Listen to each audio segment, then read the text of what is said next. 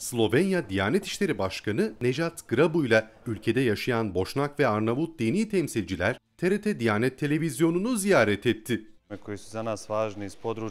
Diyanet İşleri Başkanlığı'nın yapmış olduğu çalışmaları yakından takip etmek için bu ziyareti gerçekleştirdik. Türkiye'ye her geldiğimde kardeş ülkemizdeki gördüğümüz gelişmelerden dolayı heyecanımız artıyor. Hayran kaldığım bu çalışmaları arkadaşlarımın da görmesini istedim. Diyanet İşleri Başkanı Profesör Doktor Mehmet Görmez'e misafirperverliğinden dolayı çok teşekkür ederim.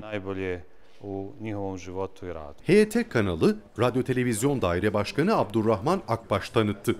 Kaç bin Müslüman lazım? Stüdyoları gezen Slovenya heyetinden Hafız Pendi Fidani ve Munzir Çelenka ise burada bildikleri tek Türkçe ilahiyi seslendirdi. Birdir veren bir Allah La ilahe illallah